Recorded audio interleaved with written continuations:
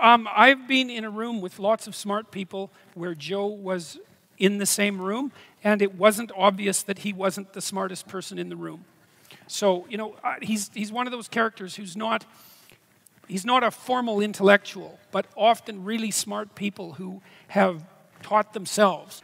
And Joe, Joe is a, he's a remarkable guy. I mean, you think he's tough as a boot. That's the first thing. He's a fighter.